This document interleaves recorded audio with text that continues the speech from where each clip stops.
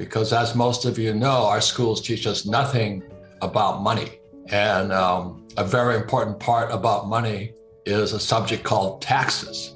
And since we don't study money at school, if you really studied it, you would find out that for money to exist, taxes have got to exist. And um, I'm going to say some things today that'll disturb some of your true blue patriots out there who think that paying taxes is patriotic. That is the biggest lie told to people.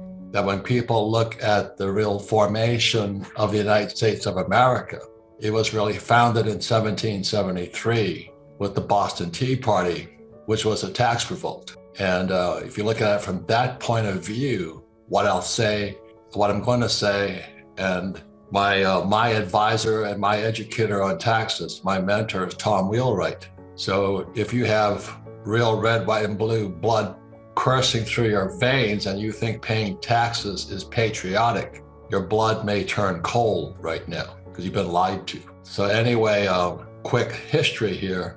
Um, taxes can only exist unless there's debt, and the US dollar is debt. And the way they pay get the money back is via taxes. And so a true capitalist, and I just finished this book here. If we ever get some paper to print it, it's called the Capitalist Manifesto. And it talks a lot about taxes because real capitalists don't pay taxes. And so it's going to be an interesting program. This is Rich Dad's World. We don't want you to do anything illegal because you don't, because you don't if you know what you're talking about. But as you know, I'll say it again and I say it again. Our school system teaches us nothing about money. And if you really want to understand money, you must understand debt and taxes. Because in 1913, the Federal Reserve Bank was created. The Federal Reserve Bank is not federal, it has no reserves, and it's not a bank. And also, what was created was the 16th Amendment.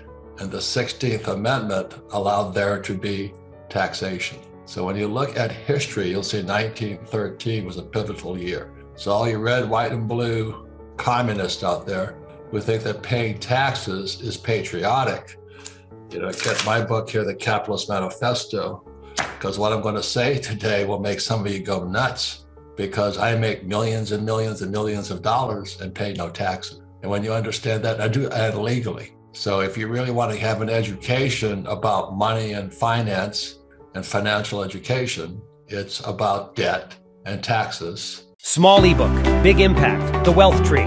The only four ways that will make you financially free forever. Download it here for free.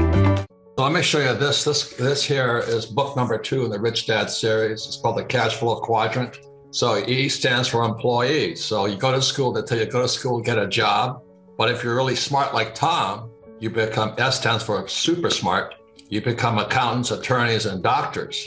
So Tom, who pays the most taxes of these characters here? Oh, that definitely the S, definitely the super smart. The the the, the more degrees you have, the more tax you pay. I, it's thank God most of your friends, Tom, are like me, C students. we, we didn't qualify for this one here. Uh, that's for sure. You educate all of us well, that, as a general rule, and this is worldwide too. This is not just U.S. Right. And so Tom and I have traveled the world, and employees pay about forty percent in taxes. Say about that, and that's worldwide. And if you're a doctor, lawyer, self-employed, or like somebody says, I'm going to quit my job and start my own business, you become a small business owner or a specialist. I'm going to be a web designer. How much do these guys pay in taxes here? So that's what happens when people quit their job and start their own business without talking to Tom first. Okay, so big B stands for big business, which is according to the tax code 500 employees. But B also stands for brand. Right. And most people don't build a brand here. So big business, like the big corporations, how much do they pay? Uh, typically around 20%. 20%. And again, what Tom instructs people and advises people, it's because we're doing what the government wants done. And so if you hire a lot of people, they'll give you a tax break for them. And then I stands for investor, but it's an inside investor. In other words, over here, lots of people invest, but they invest in a 401k or an IRA. They invest in public market like stocks, bonds, mutual funds, ETFs, which I don't. I don't have any of those things. I don't want them. The tenants. Rich Dad's World teaches capitalism. So I'll read you something because this comes from this book here, The Capitalist Manifesto. Because years ago, 1965, I read this book here, The Communist Manifesto by Marx. And Marx was just like my poor dad, an academic. And the trouble with academics is they're poor.